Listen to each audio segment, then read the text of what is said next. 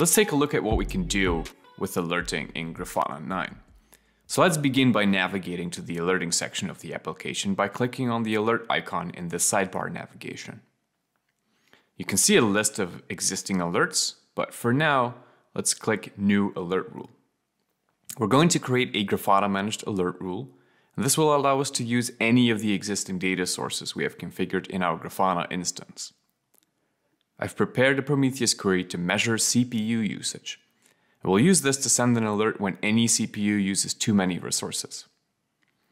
We can use a number of expressions to achieve what we want to do, so let's change the classic condition to a reduce expression, and we'll use the last function to select the last data point for each series. We can see what the expression returns by running the query. Now, all we need to do is set a threshold. So let's add a math expression. There are a number of functions available to us, but we won't be needing any in this demo. So let's enter our expression and take another look at the results. Each series that returns 1 will create an alert instance. So a single query can return one or more alert instances. We call this a multi-dimensional alert. Down below, we can further tweak the alert evaluation behavior. For demonstration purposes, let's set the evaluation interval to 10 seconds and the for to 20 seconds.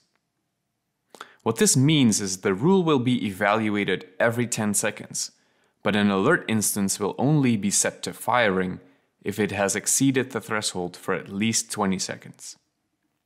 By adjusting these parameters, we can prevent alerts from firing too often or too soon.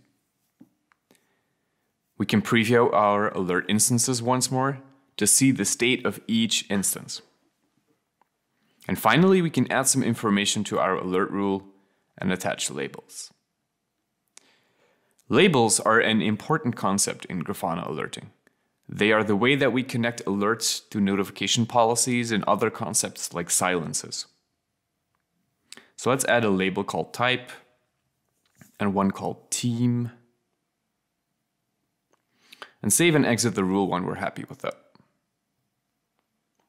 We can see our created rule and let's wait for the first few evaluations. We can see that some CPUs are now in pending, and this means they have been evaluated and were normal previously but have not been in an alerting state for long enough. Remember that we specified the alert to go into the firing state only if they have been so for at least 20 seconds.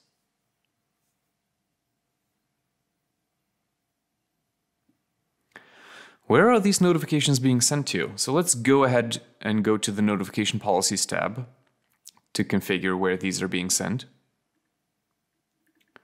And there's always a root policy.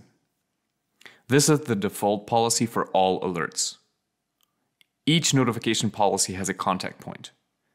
The contact point for our default policy is called Grafana default email. Let's check that one in the contact points tab. Let's edit that contact point and enter our email address. We can add additional contact point types to a single contact point to deliver an alert to multiple channels.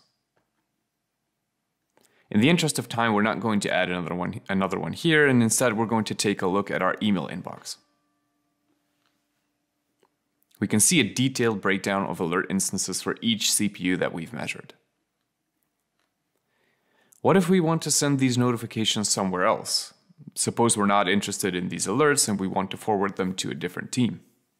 Let's create a new contact point for that. Choose any contact point type, fill in the details. And now we have to create a custom notification policy for this contact point. We'll add a label matcher using the team label that we created earlier and save the policy. So let's revisit what we did so far.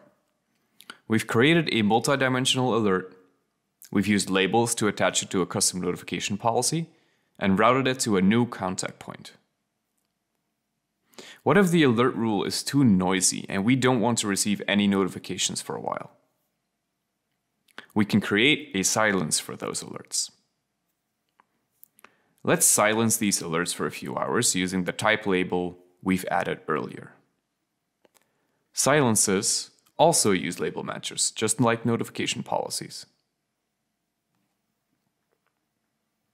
Silences are a great way to stop receiving notifications from multiple alerts. But what if we want to stop receiving notifications at a specific time interval? Let's say, for example, that we are doing maintenance on Sundays. We can use mute timings to set up our maintenance window and attach that to our custom notification policy that we created earlier. So let's go ahead and create a new mute timing. We'll give it a name and specify the interval, Sundays. And now we have to attach the mute timing to our notification policy. So let's edit our notification policy, attach the mute timing, and save it. There are many other concepts in Grafana alerting that we didn't have time to get into, but I, invite you to take a look at our wonderful documentation at grafana.com.